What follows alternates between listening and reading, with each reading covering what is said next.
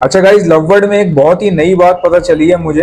आ, हमारे साथ उजैर भाई बैठे हुए हैं ये बताएँगे कि नेस्टिंग के हवाले से लववर्ड की जो नेस्टिंग जो है वो कितनी ही कितनी खतरनाक हो सकती है। प्लकिंग आपका प्लकिंग का मसला भी हल हो जाएगा। आप बताएँ जरा उजैर भाई मुझे बता का देखें ये एक नेचर होता है। देखें लवबर्ड ऐसा बर्ड है कि मतलब जो नेस्टिंग करता है प्रॉपर नेस्टिंग करके बैठता है। और देखें जैसे जब भी ये अंडे ले करने वाला होता है तो उसमें ये होता है कि नेस्टिंग पूरी सराउंडिंग में पूरी प्रॉपर करके फिर जाके अंडे ले करता है सही तो और लेकिन वो कुछ ऐसे लवबर्ड्स भी होते हैं जो नेस्टिंग को बिल्कुल बुरादा बना देते हैं। सही है चूरा कर चूरा कर देते हैं। तो जो बर्ड ऐसी मतलब हरकत कर रहा हो ना तो उसके साथ ये करें कि उसका पहले तो उसको छेड़े नहीं बुरादा बनाने दें जब अंडे ले कर दें और अंडे फर्टिलाइट हो जाए बच्चे निकलना शुरू हो जाए ना उसमें से और बच्चे थोड़े से बड़े हो जाएँ, जैसे जब आप रिंग डालने लगे उनके, या रिंग डालने के हाँ रिंग डालने लगे, पंद्रह दिन के हो जाए तो उसके बाद वो नेस्टिंग हटा के कोपिक्स लगा के, उसमें बुरादा डाल दें लकड़ी का, जो आप कॉकटेल को देते हैं। जैसे कि कॉकटेल को बुरादा देते हैं उसके बच्चे उसे तो वो बुरादा डाल दें, ताकि वो उनकी प्लकिंग का जो इशू होता है ना, क्योंकि नेस्टिंग उनको चुपती है, उनको नेस्टिंग बुरी लगती है माँ जो फीमेल होती है मेल होता है, जो करता है तो वो बच्चों के पर हल्के हल्के वो नोकीले नोकीले से होते हैं तो वो उनके हल्के गढ़ते तो वो उसको भी समझते हैं शायद नेस्टिंग उसको गड़तना शुरू कर देते हैं। तो प्लकिंग करना शुरू कर देते हैं। तो ये भी मसला हल हो जाता है कि ये मेरे साथ हुआ है कि मेरे पास ऐसे सात आठ पेयर हैं जो पहले यही करते थे। लेकिन मैंने बोला, यार, एक दिन तजुर्बा करके ऐसी एक्सपीरियंट एक्सपेरिमेंट कर लिया। मैंने कहा, यार, चल यार, हटा इसमें इसमें बुरादा डाल देता मैंने एक ऐसी पेयर में बुरादा डाल दिया।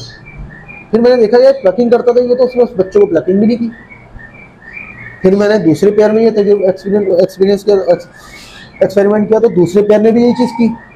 तो वहाँ से मुझे ये हुआ कि प्लकिंग किस तरीके से ख़त्म होनी है? प्लकिंग इस तरीके से बिल्कुल ख़त्म हो जाती है जब आपका वो पेयर बच्चे निकल जाए उसमें से अंडों में से तो उनको पंद्रह दिन के होने के बाद नेस्टिंग सारी हटाएँ कोपेक्स डालें कोपेक्स लाजमी डालिएगा को, ऐसा नहीं है कोपेक्स ना डालें उसके ऊपर लकड़ी का बुरादा और लकड़ी का बुरादा देखिएगा नरम लकड़ी का हो हार्ड नहीं हो। एक होता है कि मार्केट से मिलता है। नॉर्मल जो प्रॉपर नाजाबाद से जो मिल रहा होता है एम या एम के नाम से वहाँ पे शॉप तो वहाँ पे उनसे लें। या तो कोई ऐसी शॉप से नहीं बर्ड्स की मार्केट हो। आप ये नहीं कि आप किसी भी मतलब कारपेंटर के पास चले गए लकड़ी का बुरादा उठाया वो डाल दिया। वो हार्ड होता है। वो अच्छा मतलब कि लकड़ी दो तरह की होती है एक होती है किक्कर की लकड़ी हाँ। एक होती है पिलाई। पिलाई हाँ। जो पिलाई वाला जो नरम होता है। वो बिल्कुल गोल गोल सा होता है नरम नरम सा। और वो पाउडर भी हो जाता है भी होता हाँ।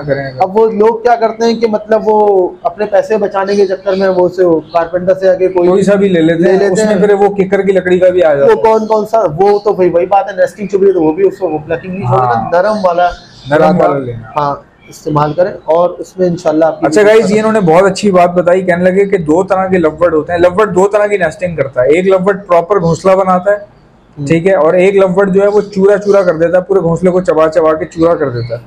तो जो चूरा कर देते हैं उनकी आदत होती है वो बच्चों की भी प्लकिंग करते हैं। तो उससे बचने के लिए तरीका ये है कि अगर आपके पास अंडे हैं रखे हुए या बच्चे रखे हुए हैं तो उन बच्चों को उठा के वो सारा चूरा चूरा नेस्टिंग जो है वो समेट लें और उसकी जगह पे लकड़ी का बुरादा डाल दें। हम्म, नरम लकड़ी का उससे नरम लकड़ी का बुरादा। उससे क्या होगा कि पेरेंट्स जो है वो प्लकिंग भी नहीं करेंगे बच्चों की। ये इनका तजुर्बा है और ये इनकी दरियाफ्त है। देखें इन्होंने कितनी मेहनत की है यार मैं तो हैरान हूँ। वो वो बातें पता चल रही हैं जो मैंने किसी और से नहीं सीखी। अच्छा इससे एक और चीज़ क्या होती है कि बच्चे जो देखे होते हैं जो घोंसले में मर जाते हैं काफ़ी हाँ। वो भी चीज़ खत्म हो जाती है। उसमें ये होता है कि साइडों में भीड़ हो रही होती है भीड़ जम रही होती है। जब और वो भी नेस्टिंग तो मैं तो बोलता हूँ जब भीड़ आपकी आए बच्चा बीस दिन का पच्चीस दिन का हो जाए तो नेस्टिंग भी आप चेंज करें। जो आपकी प्रॉपर नेस्टिंग करते हैं फिर उसकी नेस्टिंग भी चेंज करें। वो उससे ये होगा कि आपकी जो अंदर बच्चा मर जाता है घोंसले के अंदर छोटा सा बच्चा होता है वो मर जाता है वो भी चीज़ खत्म हो जाती है। एक तो बिल्कुल मतलब अंडे से निकला हुआ वो तो उससे मतलब दबके मरना वो एक अलग चीज़ है। एक बड़ा बच्चा होता है जो देखा जाए तो दबके मरने वाली कंडीशन में नहीं होता वो भी उनको ये होता है कि बीट से जो साइडों में बीट जम जाती है। उसके उसमें गंदगी की वजह से आके मर जाता है। तो गंदगी में काफ़ी बड़े बच्चे भी मर जाते हैं जैसे पच्चीस दिन का बच्चा हो तीस दिन का बच्चा हो लोगों के मर जाते हैं वो भी चीज़ खत्म होती है लेकिन नेस्टिंग चेंज करने से। उसमें बुरादा डा- डाल सकते हो अगर आप डालना चाहो जब भी बर्ड चल सकता है बुरादा ना डालें अगर नेस्टिंग ही ना करना चाहें दोबारा तो नेस्टिंग कर लें लेकिन ज़्यादा देखें जब बच्चे हो जाए ना। प्लेटें भी लिया प्लेटें अच्छा जितना लेट है तो आधे घंटे बाद। आधे घंटे बाद आएगी इतना लेट कैसे हो गया? रश हो रहा था बहुत? जब प्लेटें ले आओ सही है? और अम्मी को बोलना कि ना चाय गर्म कर दे चाय भी ले लेना सही है? पानी नहीं है। चाय पानी और प्लेटें। चाय या तो खाने के बाद खा लें पी लेंगे। सही है ना? बता देना बस गर्म कर दें। आप बताएँ कंटिन्यू नेस्टिंग चेंज करनी चाहिए। बच्चे हो जाए बुरादा भी दे सकते हैं आप।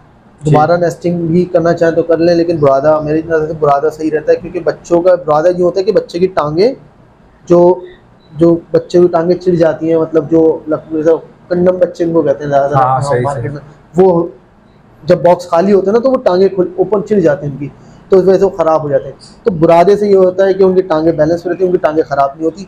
बुरादा डालें ज़्यादा अच्छा है। जब बच्चे निकल जाएँ किसी भी है तो नेस्टिंग हटा के बुरादा डाल दें और जब तक अंडे लेग हो रहे हैं जब तक नेस्टिंग रहने दें। जो नेस्टिंग करता है पेयर और जो नेस्टिंग के जो उसको बुरादा बना देता है तो वो अंडे लेग बच्चे निकलने के बाद उनका भी वही चीज़ करें।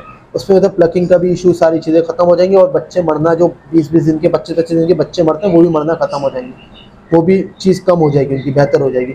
और उसके साथ और जो कोशिश ये करें रेड आई बच्चों को रेड आई बच्चों को ब्लैक आई बच्चों के साथ ना रखें। अच्छा ये भी है ये रखें कि इससे बताऊँ क्या होता है कि रेड आई जो बच्चा होता है ना वो अपने माँ बाप से दाना माँगता नहीं है। वो हमेशा देखा है ना ब्लैक आई के मुकाबले में हल्का होता है। आपने देखा होगा रेड आई बच्चा होगा वो लड़ेगा नहीं। जैसे आप देखोगे ना बॉक्स में माँ घुसेगी तो फ़ौरन ब्लैक आई बच्चे खच करके दाना मांगने आएँगे मुझे दाना दो। रेड आई नहीं आता। ज़्यादातर रेड आई यूँ मरता है। रेड आई को हमेशा देखें कि आपके दूसरे प्लेयर हैं उनके रेड आई के अगर तीन बच्चे हैं तो उधर एक, एक बच्चा उधर शिफ्ट कर दे रेड आई के एक तरफ़ कर दे सारे और ब्लैक आई की एक तरफ़ कर दे क्योंकि ब्लैक आई का बच्चा तेज होता है। वो अपनी खुराक पूरी ले लेता है। Red- बहुत strong है। होता है वो और रेड आई नहीं होता। तो मेरे ये पेयरिंग जितनी भी है तो मैं यही करता हूँ कि रेड आई को एक साथ कर देता हूँ चार चार का मैं एवरेज रखता हूँ। मैंने फोस्टिंग पेयर नहीं रखे हुए। मैं शफलिंग करता हूँ। पास मैं फोस्टिंग नहीं करता शफलिंग करता हूँ क्योंकि मुझे कोई बीट का नहीं है मैं चार कलच आए बस वही बहुत है ना मुझे ज़्यादा कलच लेने का शौक है। और कभी कभी तीन कलच भी लेता हूँ ज़्यादा गर्मी होती है जैसे अभी इस, इस सीज़न में मैंने तीन कलच लिए ज़्यादा कलच नहीं लिए चौथा कलच नहीं लिया मैंने।